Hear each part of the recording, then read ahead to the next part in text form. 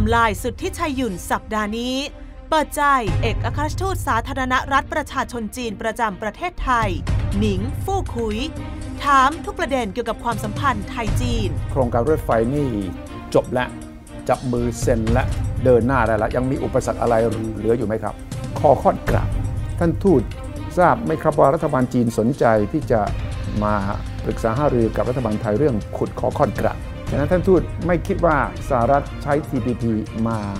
สกัดอิทธิพลของจีนในเอเชียแปซิฟิกทะเลจีนใต้สหรัฐในช่วงหลังก็ทำอะไรท้าทายจีนพอสมควรท่านทูตมองว่าเหตุการณ์ในทะเลจีนใต้จะตึงเครียดมากขึ้นกว่านี้ไหมครับ ถามตอบกว่า1ชั่วโมง ห้ามพลาดทม์ไลน์สุทธิชัย หยุ่นเสาร์อาทิตย์นี้4ทุ่มครึ่งทางเนชั่นทีวี